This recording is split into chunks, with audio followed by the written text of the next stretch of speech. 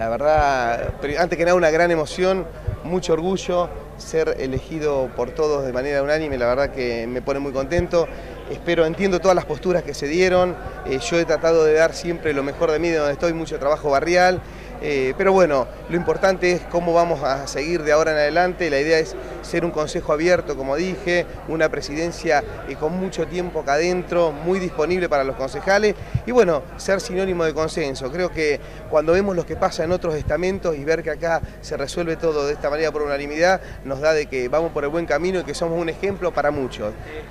quienes lo conocen a usted trabajando en PAMI hablan de que le pone mucha hora, a estar después, después de, tiempo, la, idea es seguir en esa misma tónica. La, idea es seguir en esa misma tónica, eh, yo la verdad que todo lo que me ha dado PAMI para mí ha sido muy importante, por eso a partir de este, de este momento, del rol que me toca cumplir, eh, he presentado la renuncia al cargo a, PAMI, eh, la renuncia total a la planta permanente también, así que bueno, me voy a abocar de lleno a esta tarea que para mí es un honor, la verdad que nunca esperé en mi vida todas las cosas que me fueron pasando. Tengo a mucha gente para agradecer que, te digo, estaría mucho tiempo. Eh, lo que te puedo decir que soy inmensamente feliz y, lo que me ha dado la vida es mucho más de lo que esperaba. Así que...